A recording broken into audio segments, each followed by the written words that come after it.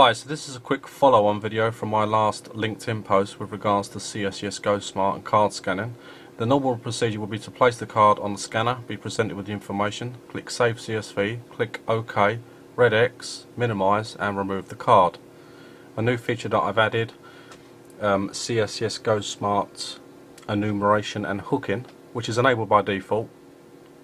Once active and we scan the CSCS card, it makes the whole process a little more automated. So we present the card to the reader and it gets scanned as normal.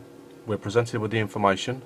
This time we simply click Save to CSV and everything else is automatically clicked and minimised and data imported. Just makes life a little bit more easier. Thanks for watching. Cheers guys.